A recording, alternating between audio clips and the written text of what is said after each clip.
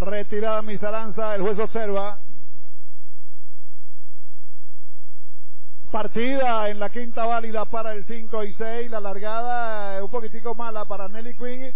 Y también largó muy mal la número 12, Cyan Ya. Viene por la parte central de la cancha Tedesca Dobaño a dominar. Ámbar Miel viene metiéndose ya en la pelea. Entre tanto, Charlot viene adentro, corre en el tercero, en el cuarto, Victoria Elena en el quinto lugar. Está avanzando ahora por el centro de la cancha la yegua Wiki. Luego trata de aproximarse ahora por la parte exterior de la cancha. Viene mejorando mucho el ejemplar Chícora y también se mete en la pelea Osira cuando van así en 23 segundos los primeros 400 metros. En la última válida. Allá levantó el jinete de Ámbar Miel cuando Tedesca Dobaño domina. Ámbar Miel corre dos cuerpos en el segundo, Charlot en el tercero, en la quinta válida, en el cuarto lugar, está avanzando ahora por la parte exterior Victoria Elena y mejora mucho Wiki por la parte interior, luego corre Osira, enseguida mejora un poco Chícora por el centro de la cancha con Arnelli Quinn cuando vienen a la última curva, Tedesca Dobaño, la de César Pérez domina en 45-4 cuando entran en la recta final, Tedesca Dobaño está en la punta, ataca ahora Charlot y también vuelve la yegua Ámbar Miel por el centro y mejora Arnelli Quinn por la parte exterior, la yegua Ámbar Miel a la pegada, Baranda, atropella por con fuerza por dentro,